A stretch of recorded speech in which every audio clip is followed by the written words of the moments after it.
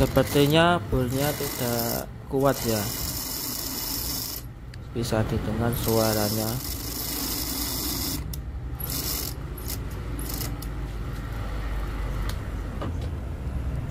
Nah sekarang saya akan menggantinya dengan HSSCO Biasanya untuk material yang lebih keras seperti stainless steel Jadi bisa dilihat perbedaannya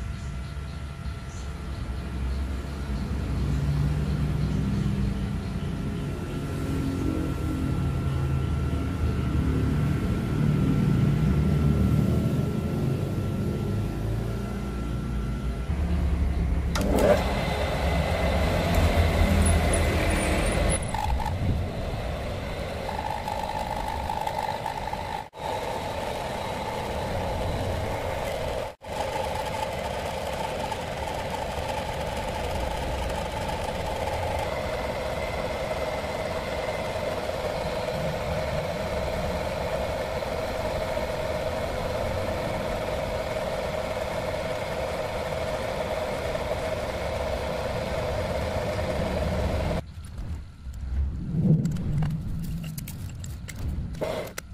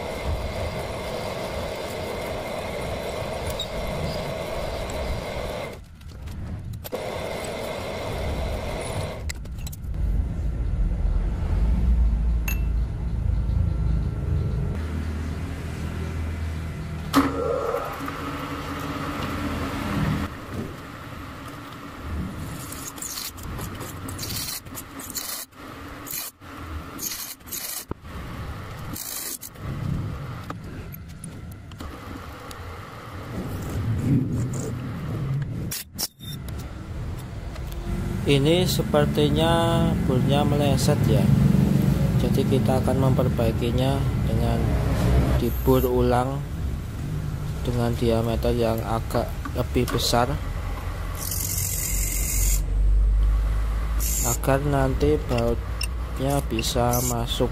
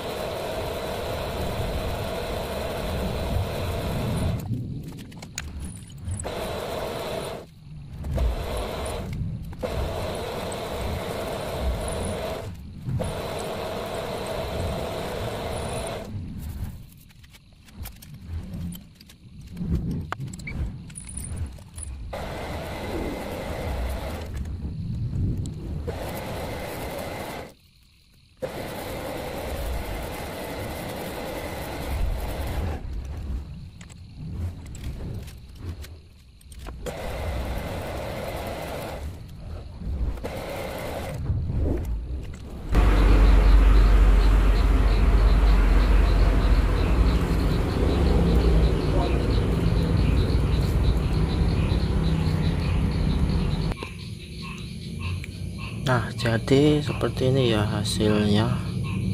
Sekarang tinggal kita rakit. Pertama uh, untuk handle-nya dulu. Kita pasang. Ini agak kurang center tapi sudah saya perbesar agar bisa masuk bautnya dipaskan dulu. Sudah. Sekarang kita masukkan pengunci handle ini saya taruh di dalam bautnya agar terlihat simpel. Biar dilihat itu enak.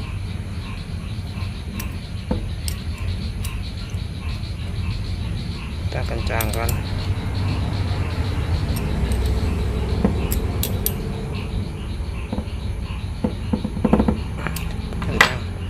nah ini sudah masuk sudah kencang. Ini sepan ya? Sepan jadi tidak bakal oblak.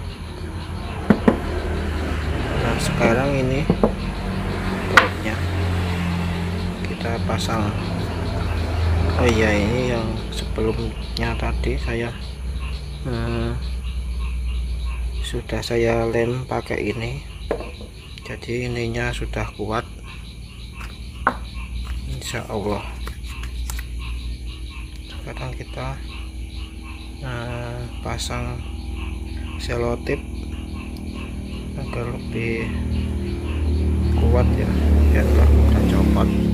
Karena ini buat memukul buat malu. Jadi biar kuat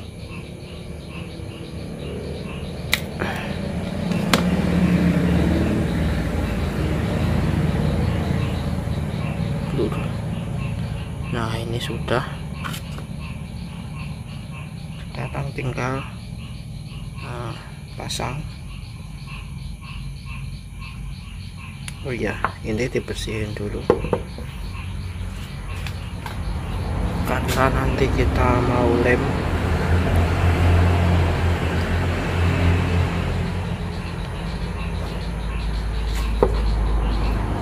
Sudah lalu kita pasang oh iya. Aduh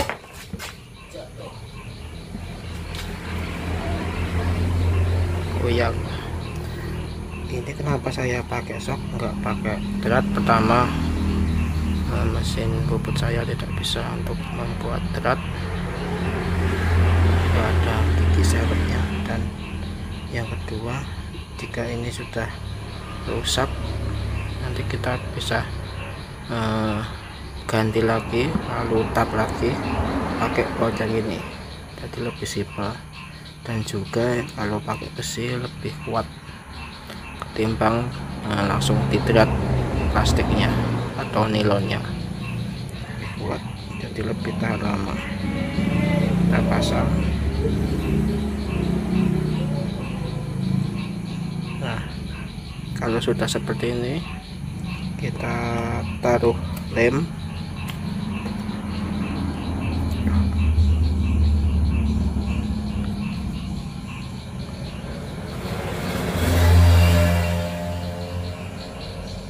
secukupnya saja. Lalu dikencangkan sampai menutup.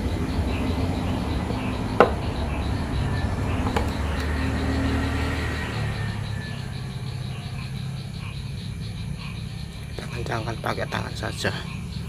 Nah ini hasilnya sudah jadi. Silakan lihat sendiri ya sebagai tukang bubut masinis